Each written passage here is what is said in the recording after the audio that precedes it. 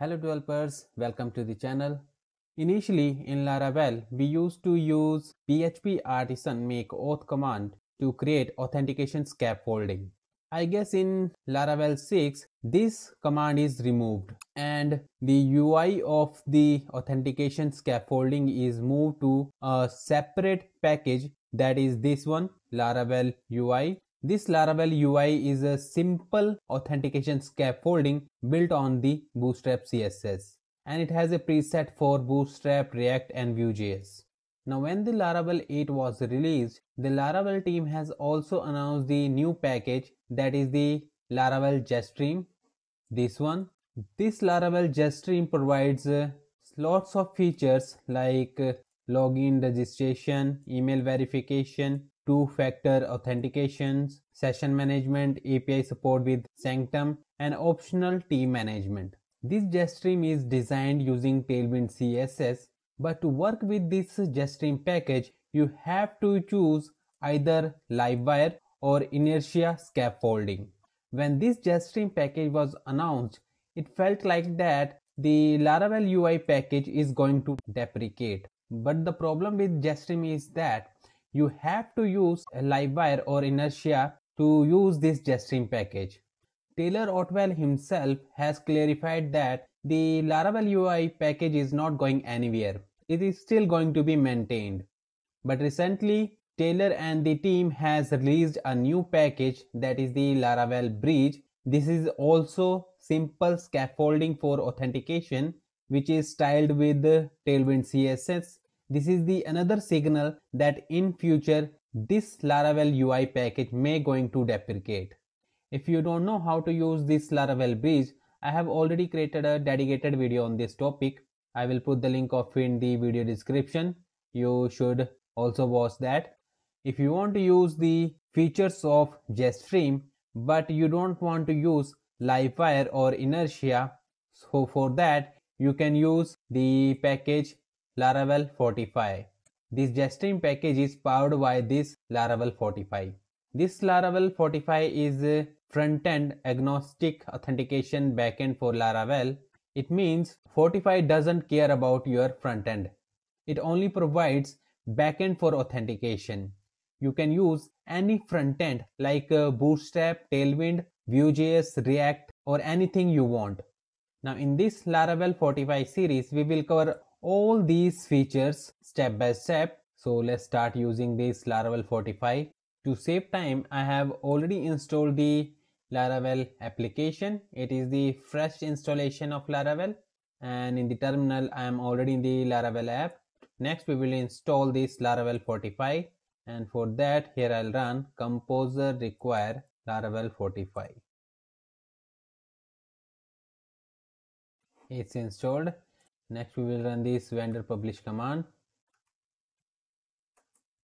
And it has published these files. If i run git status it has published some actions in the app actions a service provided and Fortify con configuration file and the migration. Let's see this. In the app actions we have Fortify actions to create users and password validation rule reset user password update password action user profile action. Next it has published the provider Fortify service provider and it has published the configuration Fortify and in this Fortify we have got web by default and password is from the users table by default, it is going to use email to match credential of the users during the login. And if you want, you can change it to other field and you can specify that here. An email is going to be the email column. And here the home path is route service provider and this one.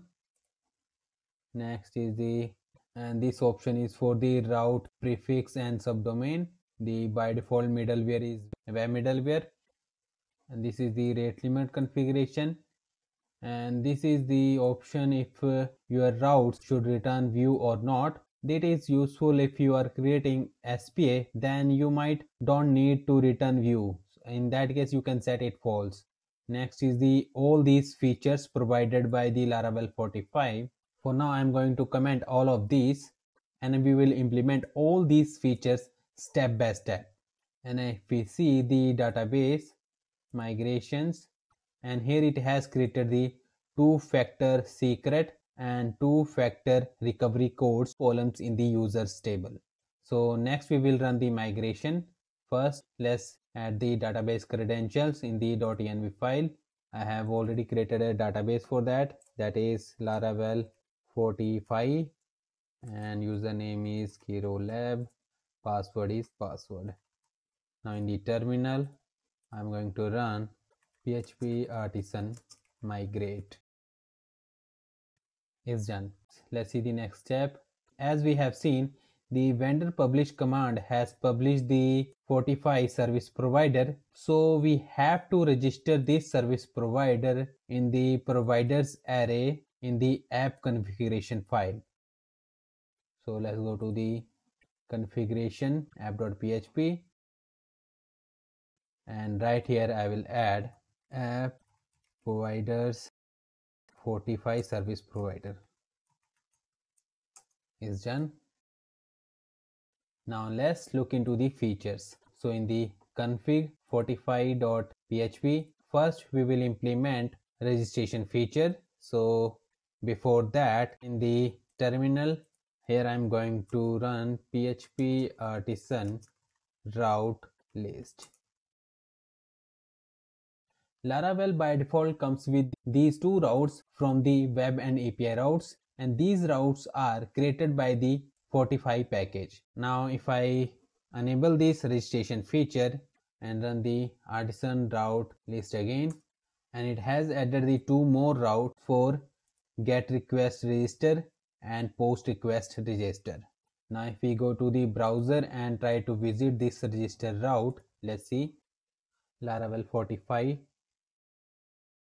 dot test. I have created this virtual host for the our application. And let's navigate to register route. And here we get the register view response error. That is because this route is created but we have not specified which view should return for this specific route. So for that we will navigate to Fortify service provider. And in the boot method here i'll say Fortify and here we say register view. It is going to accept function and here we will return view. Auth dot register. So next we will create this view in the resources views here I'll create directory auth and in this auth directory I'll create register dot blade dot php next I'll steal the markup from the laravel UI that is in the source auth directory and here is the bootstrap stubs. In the auth directory i'm going to steal the markup from the registered stub. Let's copy this and paste it in the registered blade.php next it is extending the layouts.app so let's go back and in the bootstrap stub we will go to layouts app stub. Let's copy all of these. Now in the views i'll create layouts. And in the layouts directory app.blade.php let's paste this. Now let's go to browser and refresh. We got syntax error. Right here. We forget to add semicolon. Refresh. And here we go. We have form. But styling is missing. That is because we have not added the bootstrap. So what i'm going to do in the terminal here i'll run npm install bootstrap jquery and popper.js and it's installed now npm install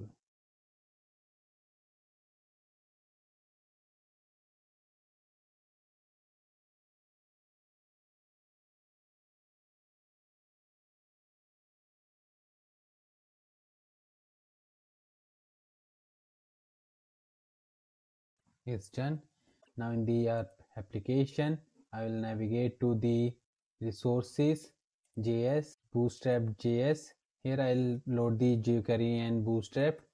I'm going to copy the snippet from the UI package. So here I'll go to auth source presets. Here is the bootstrap preset and in the bootstrap.js let's copy this and paste it right here. Is done. Now in the resources css instead of css i'm going to use sass so here i'll say sass and the css is app.scss and here i'm going to import bootstrap so import and from node modules bootstrap scss and bootstrap. That's done here.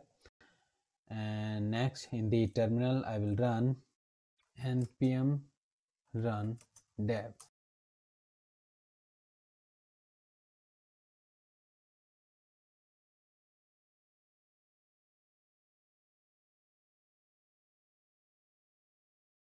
and here we get error. That is because I forgot to modify in the webpack mix.js right here. Here instead of post css we will use sass sass and here is the sass app.scss it's done. Now terminal and npm run dev. Now it should work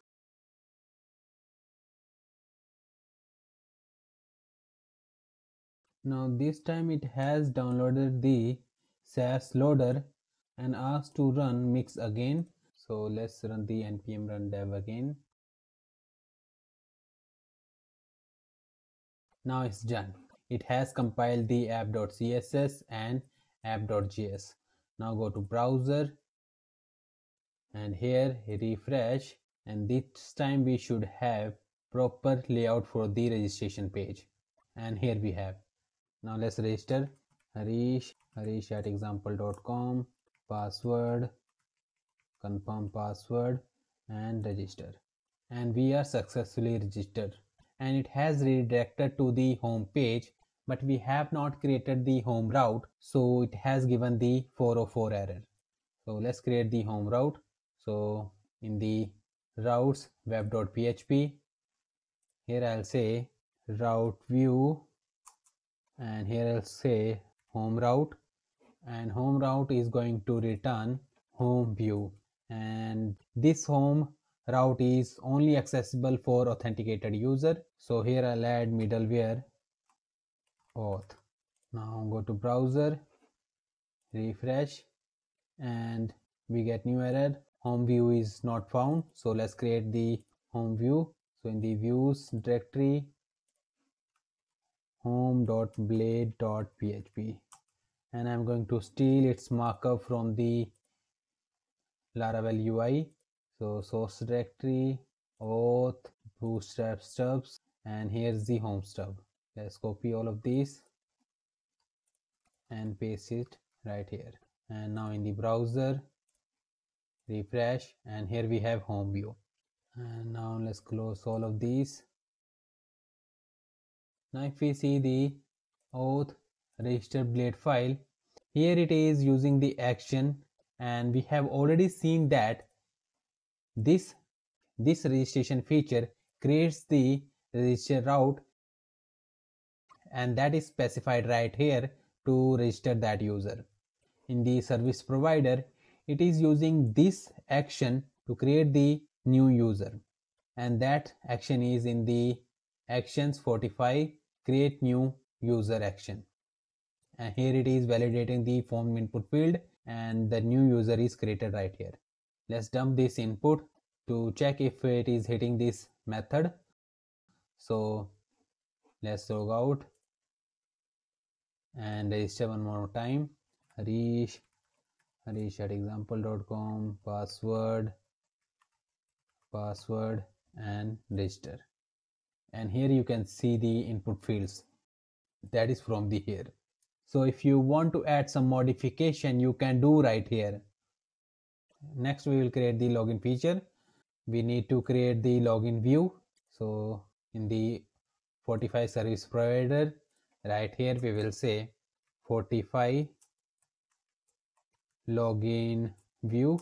And this is going to accept function and here I'll return view auth dot login. Now let's create this view. So in the auth login dot blade dot php. Now let's steal some markup from the laravel ui bootstrap stubs auth login stub and copy all of these and paste it here. Refresh and here we have the login view. Let's login this. And we are successfully logged in. Now you may ask that in the actions we don't have any action related to login.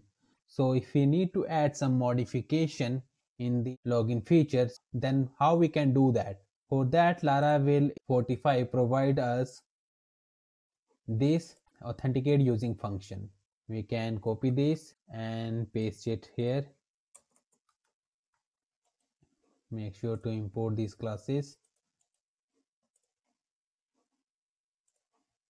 Now all classes are imported. Now in this method what it is doing we first fetch the user from the request email and we check the password using the hash check method and then we return the user. So first let's dump this to make sure it is hitting this method. Now log out and let's log in again. Harish at example.com one password. And here is the request dump. We have reached right here. So let's delete this and try login again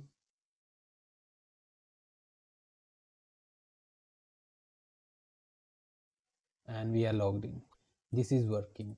So if you want to add your own logic to authenticate a user you can do right here in this method. Right now we don't need this so let's remove it. Now we have created the register and login feature using the fortify package. In the next video we will see reset password feature so this is the end of this lesson. Thanks for watching. If you like the video, hit the like button, share this video and don't forget to subscribe us. See you in the next lesson.